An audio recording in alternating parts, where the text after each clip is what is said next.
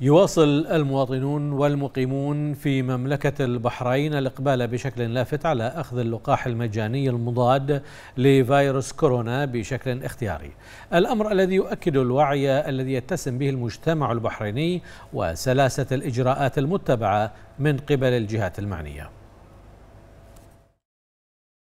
في إطار الخطة الوطنية لكبح جماح انتشار فيروس كورونا يواصل أبناء المجتمع البحريني والمقيمون تلقيهم اللقاح المجاني المضاد لفيروس كورونا وبشكل اختياري إضافة إلى اتباعهم كافة الإجراءات والإرشادات الوقائية التي وضعت من أجل سلامتهم.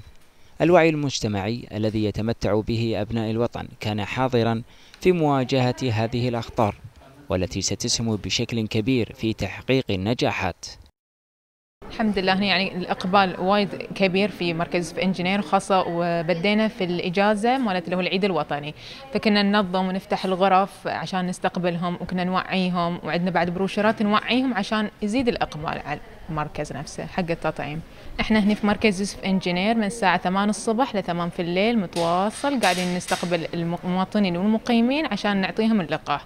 حماية طبعا إليهم المفروض هذا يكون واجب وطني إن الكل ياخذ التطعيم. أنا راجل من كبار السن فطبعا كانت دي تعتبر هدية لي ولجميع فئات الشعب من كبار السن وأصحاب الأمراض المزمنة على ما قدمته مملكة البحرين لهم بتقديم هذا العطاء الكبير مجانا لكافة المواطنين والمقيمين. وهذه برقة أمل ودي كتر خير الحكومة. أنا أهدتنا هذا الفاكسين في دول ما محصلة ولا شيء. OK وضعك OK OK الحمد لله. ما عندك أي شيء. لا لا ما عندي. المتلقين للقاح أكدوا أن تلقي اللقاح جاء من أجل دعمهم لكل الكوادر الوطنية الذين قدموا أروع صور العطاء والإخلاص تحقيقا لكل الأهداف المنشودة لعودة الحياة لطبيعتها أخذت التطعيم و...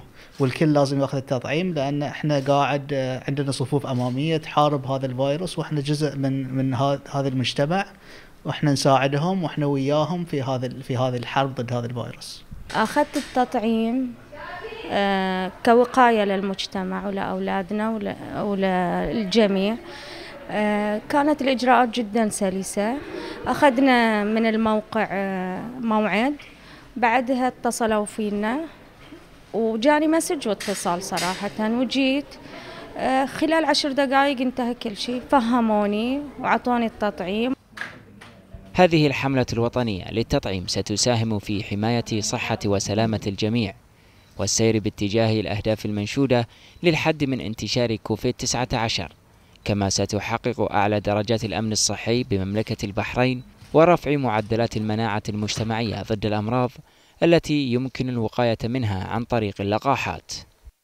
هذا الإقبال الشديد على أخذ اللقاح المضاد لفيروس كورونا جاء تتويجا لعطاء فريق البحرين المستمر. وعلى مدى حرصهم الشديد على خروج مملكة البحرين من هذه المحنة العالمية.